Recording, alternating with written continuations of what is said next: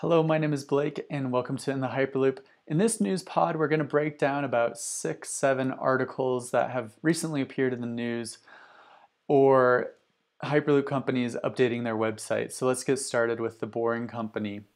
So this is a great place to kind of keep tabs on the latest news, the FAQ section of the Boring Company's website.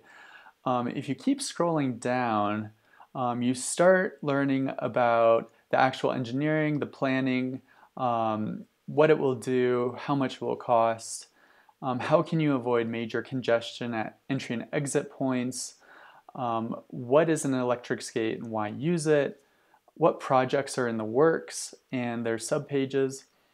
But what I find really fascinating is this new part. What does the inside of the tunnel look like?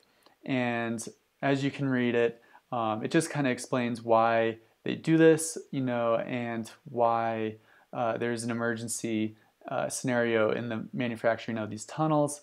And you know how do you evacuate people? So they're really focusing on kind of the human part of this technology and building of tunnels. What if there's a fire?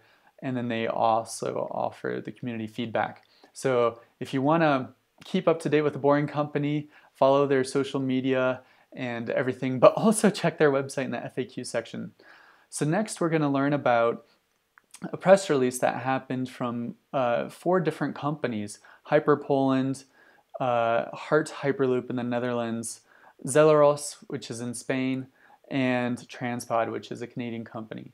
So they issued this uh, press release on the 27th of June, and basically they're trying to pool their resources and standardizations um, so they can study and promote Hyperloop in Europe a lot easier.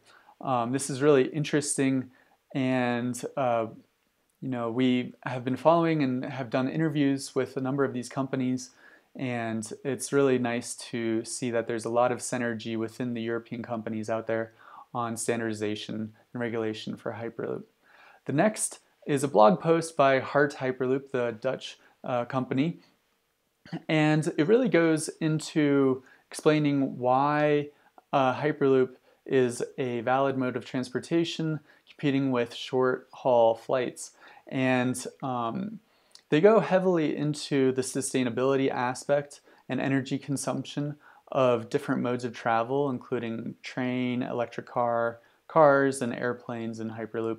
Um, it really goes into the sustainability and climate change and why the Netherlands is, uh, should be a leader and can be a leader um, in developing this new technology, even when uh, the Netherlands has great airport infrastructure, great high speed travel, and train infrastructure. So it's a fascinating read, and uh, definitely subscribe to Hardt's um, Medium page. So, next is a news article um, in France of the you know developments of different Hyperloop companies uh, mainly HTT and Transpod, and both uh, comparing both of these companies and how they're building test tracks. And it really just kind of fleshes out um, what these two companies are doing, why are they doing it, um, what are the barriers that they're encountering um, right now, and you know why uh, you know they're doing it in France in particular, and the exact landscapes and different locations of each company and their test tracks. So it's a fascinating read. It was translated in, from French into English, um, but still totally worth it. Next is a news article that just got published uh, today, a press release by Virgin Hyperloop One. It's the Spanish government um, working with Hyperloop One to develop a test track. And as I make that bigger, um, I'm sorry, not a test track, an innovation center which seems very similar to an innovation center that was proposed by Hyperloop TT in Brazil, which is called the XO. And this facility um, really kind of merges a lot of different um, industries and science base and uh, high tech manufacturing base in southern Spain. And you know, it's a really fascinating read. Um, you know, Virgin Hyperloop One is already working in uh, Saudi Arabia and in India and uh, Dubai and the United States. So, you know, it really kind of fleshes out a European uh, base for Hyperloop One. And um, again, definitely check it out. It would be open um, mid, you know, by 2020, which kind of is in line with um, what uh, Hyper, sorry, Transpod and Hyperloop TT are doing uh, in France. So they're all kind of coming around in the 2019s, 2020s. Um, and then finally, this article, and unfortunately it's behind a paywall, but definitely get a subscription.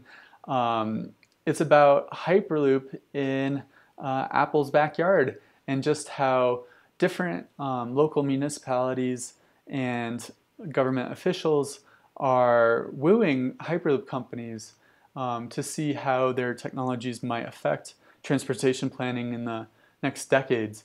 And it's a fascinating read. I think we're going to see a lot more of these kinds of um, plays by different companies. And, you know, we're already seeing it with um, Chicago and the Boring Company and how there was a bidding process between two different companies and the Boring Company won. And, you know, they're fully, uh, you know, private partnership, but also working with the government and the public uh, space. So stay tuned to In the Hyperloop. We'll be sharing more of these news stories as they happen in the future and uh, stay in the loop.